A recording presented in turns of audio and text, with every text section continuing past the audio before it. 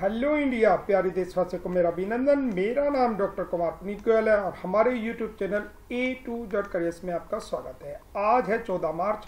14 मार्च को जितने भी करंट अफेयर्स के क्वेश्चन बनते हैं, वो सारे मैं आपको बताऊँगा। और साथ साथ मैं कुछ फैक्ट्स भी आपको बताऊँगा, उन क्वेश्चन से रिलेटेड और यहाँ पे आपको एक वायुयान दिख रहा है बोइंग का। इथोपियन एयरलाइंस का जो यान दुर्घटनाग्रस्त हुआ था, वो भी बोइंग का हुआ था। कौन सा यान है और इसको कितने कंट्रीज़ ने बैन कर दिया है भारत के बाद। पहला हादसा हुआ था, दूसरा हादसा हुआ था, इसके बारे में पूरी डिटेल मिलेगी। आज किडनी डे मनाया जा रहा है।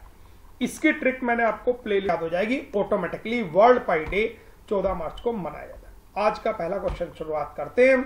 किस देश में 11 साल में करीब अठासी हज़ार लोगों पर हुए अध्ययन में सामने आया कि वायु प्रदूषण पीएम 2.5 में ज़्यादा देर तक रहने के कारण इंसानों में डायबिटीज़ का खतरा बढ़ जाता है? 11 साल का यह अध्ययन किस देश में हुआ है? यह अध्ययन किया गया चाइना में। और चाइना हमारा एक पड़ोसी देश है तो चाइना के बारे में कुछ इंपॉर्टेंट फैक्ट्स भी मैं आपको बता देता हूँ। ये मैप में आपको चाइना दिखाई दे रहा है यहाँ पे। और यहाँ पे यह आपको साउथ कोरिया और नॉर्थ कोरिया भी दिखाई दे रहा है। और ये भारत है। भारत का पड़ोसी देश है चाइना। चाइना के राष्ट्रपति हैं जी जिनपिंग चाइना के प्राइम मिनिस्टर है ली क्योंग चाइना की कैपिटल है बीजिंग और चाइना की करेंसी है रेन मिन यहाँ पे आपके दिमाग में एक सवाल आएगा कि सर चाइना की करेंसी तो युआन भी है। बिल्कुल सही कह रहे हैं हम। चाइना की करेंसी युआन भी है और रेन मिन भी, भी है। जैसे भारत की करेंसी रुपया है और पैसा भी है। उसी तरह चाइना की करेंसी भी रेन मिन भी मेन करेंसी होती है। युआन उसका एक पार्ट होता है। नेक्स्ट क्वेश्चन है निम्नलिखित में से किस आईआईटी के छात्रों ने नकली नोट का पता लगाने वाले स्मार्टफ़ोन ऐप का कोड डेवलप किया है? इस स्मार्टफ़ोन ऐप पे आप अपना नोट अपलोड कर दीजिए और 25 सिक्योरिटी फीचर्स चेक करके ये आप आपको बताएगा कि ये नोट नकली तो नहीं है। आईआईटी खड़गपुर के छात्रों ने ये एप्लीकेशन डेवलप किया है नकली नोट को पहचानने के लिए। नेक्स्ट क्वेश्चन है, चीनी सरकारी मीडिया के मुताबिक चीन और किस देश ने संयुक्त रूप से विकसित किए गए जे एफ़ सेवनटीन लड़ाकू विमान को अपग्रेड करना शुरू कर दिया। यह है पाकिस्तान।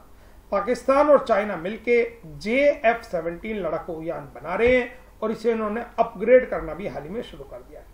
पाकिस्तान भी हमारा पड़ोसी देश है और चाइना भी हमारा पड़ोसी देश है। तो पाकिस्तान के कुछ इंपॉर्टेंट फैक्ट यानी वहाँ के राष्ट्रपति, वहाँ के प्रधानमंत्री कैपिटल और करेंसी के बारे में मैं आपको बता देता हूँ। पाकिस्तान के प्रेजेंट टाइम के राष्ट्रपति हैं doctor Arif Alvi present time के प्रधानमंत्री इमरान खान, जो क्रिकेटर से राजनेता बने कैपिटल है पाकिस्तान की इस्लामाबाद और करेंसी या पाकिस्तान की पाकिस्तानी रुपी इतने पॉइंट आपको अपने पड़ोसी राज्यों, अपने पड़ोसी देशों के बारे में ज़रूर पता होने चाहिए। नेक्स्ट क्वेश्चन है एक्सिस बैंक ने global technology provider S K F की भारतीय यूनिट के चेयरमैन राकेश मखीजा को कितने साल के लिए अपना गैर कार्यकारी पार्ट टाइम चेयरमैन बनाया है?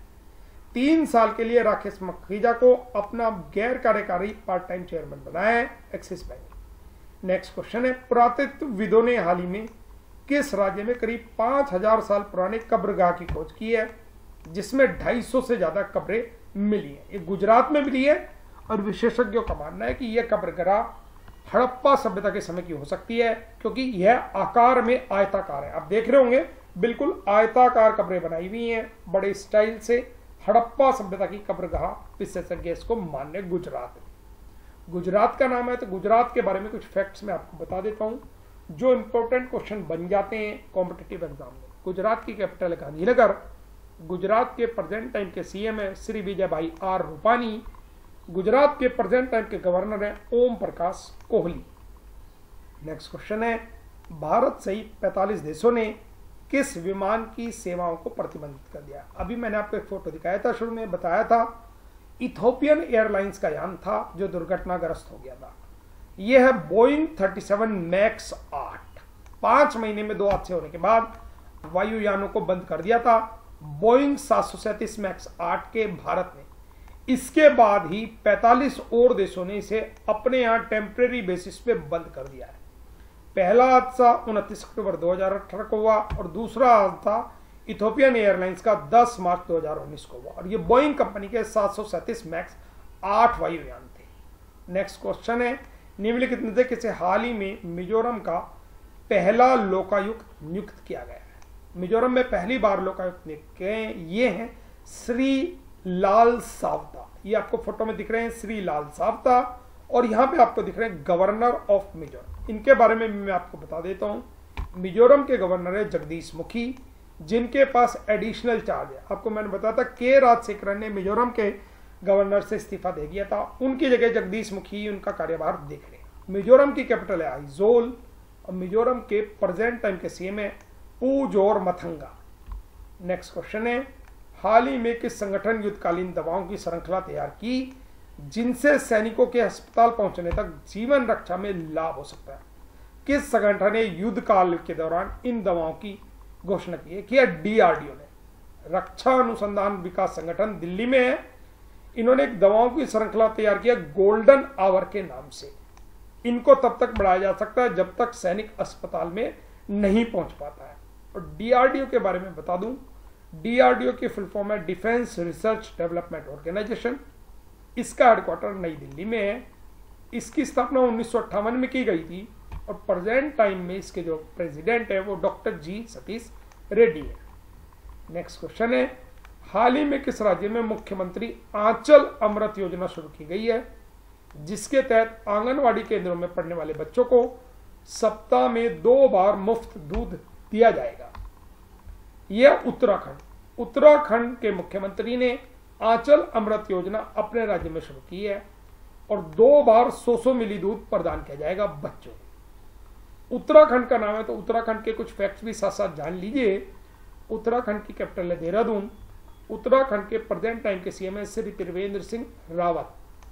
और उत्तराखंड की गवर्नर है बेबी रानी मौर्य। मैंने आपको एक बात और बताई थी कि अगर जितनी भी महिलाएँ गवर्नर और मुख्यमंत्री हैं, उनके सबके नाम आपको स्पेशली पता होना चाहिए। कई बार ये भी पूछ लिया जाता है, कितनी महिला मुख्यमंत्री हैं या कितनी महिला गवर्नर है? तो ये भी आपके दिमाग में ज़रूर रहना चाहिए। नेक्स्ट क्वेश्चन है, देश में मौजूद किस आईआईटी के लिए मानव अनुसंधान विकास मंत्रालय द्वारा स्पार्क योजना के तहत सात अनुसंधान प्रस्ताव का चयन किया गया है? यह आईआईटी मंडी, जो कि हिमाचल प्रदेश में है। अब मैं आपको यहाँ बता दूँ, स्पार्क क्या है? आपको मैंने अभी अभी स्पार्क बताया था। स्पार्क है scheme for promotion of academic and research collaboration ये स्पार्क की फुल फॉर्म है। और ये आईआईटी मंडी में शुरू किया गया सात अनुसंधान केंद्रों। नेक्स्ट क्वेश्चन है, कौन सी कंपनी आईसीसी वर्ल्ड कप 2019 को स्पॉन्सर्ड करने जा रही है? आईसीसी वर्ल्ड कप 2019 में मई में शुरू हो जाएँगे और इसे स्पॉन्सर करेगी GoDaddy GoDaddy com एक फ्री वेबसाइट बनाने वाली वेबसाइट है, जिसपे आप अपनी वेबसाइट बनाते गो डैडी पे आप अपना बिल्कुल फ्री में वेबसाइट बना सकते हैं। नेक्स्ट क्वेश्चन है which state presented the tax free deficit budget for 1920 सबसे पहली बार पूरा टैक्स फ्री बजट पेश किया है किस राज्य ने? भारत में कोई भी टैक्स नहीं लगाया इन्होंने, ये है मेघालय। मेघालय ने टैक्स फ्री बजट पेश किया 1920 के लिए। मेघालय की कैपिटल है शिलोंग और मेघालय के प्रेजेंट टाइम के सीएम है श्री कोनराड कोंकल संगमा और मेघालय के प्रेजेंट टाइम के गवर्नर तथागत राय।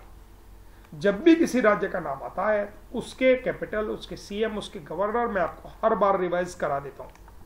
आप सोचते होंगे, रोज़ाना रिवाइज करने का क्या फ़ायदा होगा? देखिए, उनतीस राज्य सात केंद्र शासित प्रदेश हैं।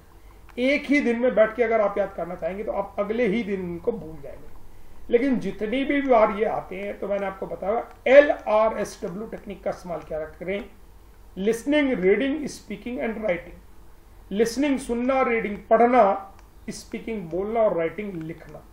अगर आप L R S W technique का इस्तेमाल कर लें तो करंट अफेयर्स के क्वेश्चन आपको मुझबानी हो जाएँगे। क्योंकि लिसनिंग और रीडिंग तो आपकी ऑटोमेटिकली हो जाती है। दो काम मैं आपके ऊपर छोड़ता हूँ, वो है स्पीकिंग और राइटिंग स्पीकिंग मीन्स बोलना। जैसे कि आपको ये याद है, मेघालय की कैपिटल क्या है? शिलोंग।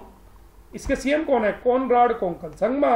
इसके गवर्नर कौन है? तथागत राय। इस तरह से आप ये मेरे साथ स्पीक कर लिया करें, बोल लिया करें, दोहरा लिया करें और राइटिंग ज़रूर कर ले।